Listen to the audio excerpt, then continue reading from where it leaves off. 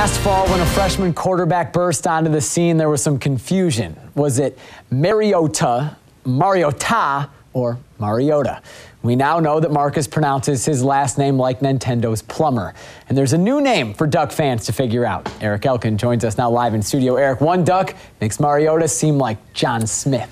Jake, I'm going to try my best right now. It's Andre Yruretagoyena, but we'll just go with Andre or Big Y. He's battling for a starting spot on the offensive line and is also Tyler Johnstone's roommate. They've known each other since preschool and are best friends, so I figured there's one person, if there's one person Andre's not related to that could spell his name, it would be Tyler.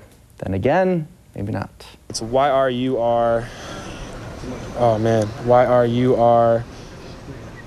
A. I gotta write it down. I can't spell it in my head. It's it's, it's so confusing. It's a Y R U R A T E G O Y N A. Honestly, I was up till about 1 a.m. one night when I was in uh, what was it, first first or second grade, and I was just writing my name on or my last name on a piece of paper, running downstairs, asking my parents, and I just kept going back up until I finally got it, and ever since then, I've, I've been able to say it and spell it.